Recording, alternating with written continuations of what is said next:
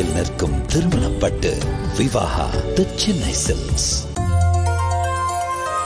தென்சீன கடல் பகுதியில் இரண்டு ஏவுகணைகளை செலுத்தி போர் பயிற்சி மேற்கொண்டிருக்கிறது சீன ராணுவம். இது அமெரிக்காவிற்கான ஒரு எச்சரிக்கை என்றும் சீன ஊடகங்கள் கூறி வருகிறது. சர்ச்சையான தென்சீன கடல் பகுதியில் சீனாவின் ஆதிக்கம்தான் அதிகமாக இருந்து வருகிறது.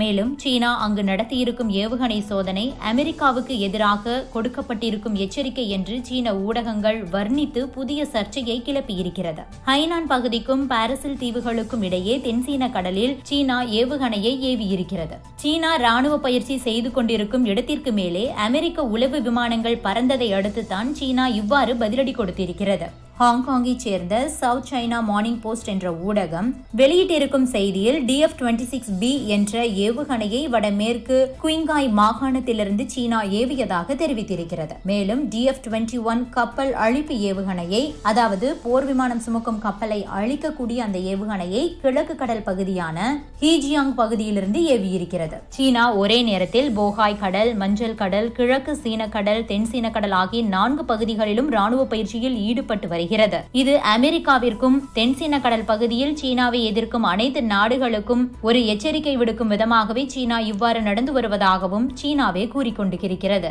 போர்க்கப்பலை அழிக்கக்கூடிய ஏவுகணையை சீனா எப்போது வேண்டுமானாலும் செலுத்தலாம் என்று அமெரிக்காவின் உளவுத்துறை செய்தி வெளியிட்டது. இது சீனாவின் காதுகளுக்கு எட்டவே தென்சீன கடல் பகுதியில் சீன ராணுவம் இன்னும் அதிகமாக பயிற்சி முகாம்களை அமைத்து பயிற்சிகளை மேற்கொண்டு வருகிறது. மேலும் சீனாவை கவனிப்பதே அமெரிக்காவிற்கு வேலையாகி விட்டது என்று சீன ராணுவ வல்லுநர் ஒருவர் குளோபல் டைம்ஸில் கூறியிருக்கிறார். இது தொடர்பாக சீன வெளியுறவுத்துறை அமைச்சகம் கூறியிருக்கும் செய்தியில் சீனா தன்னுடைய பகுதியில் மேற்கொள்ளும் கட்டுமான பணிகள் அனைத்தும் இறையாண்மைக்கு உட்பட்டதுதான். இதற்கும் ராணுவமயமாக்கலுக்கும் எந்த தொடர்பும் இல்லை என கூறியிருக்கிறார். அதே நேரத்தில் அமெரிக்காவிற்கு விடுக்கப்பட்ட ஒரு எச்சரிக்கையாகவும் இது பார்க்கப்படுகிறது. இது பற்றி உங்களுடைய கருத்துக்களையும் பதிவு பண்ணுங்க.